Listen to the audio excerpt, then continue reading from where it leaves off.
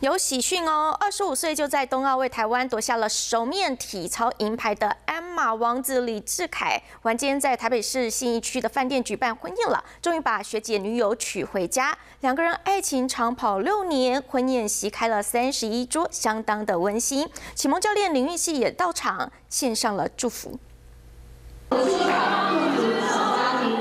于成为夫妻了，这一路走的可不容易。今年七月在冬奥拿下鞍马银牌的李志凯，十二月十九号正式娶回交往六年的学姐女友吴亚云，两人脸上甜蜜幸福的表情也羡煞旁人。这六年来，其实都呃虽然说常常分隔两地，然后没办法一起生活，或是呃常常出国比赛等等的，其实都。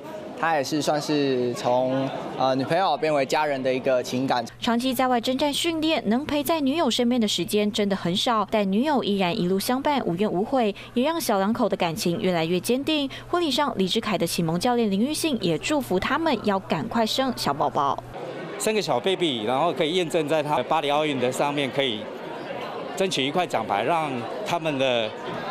小朋友看到爸爸的厉害。婚礼席开三十一桌，小而美，充满幸福洋溢的气氛。也希望这对新人能够长长久久，面对任何困境。华盛精神陈一伟他报道。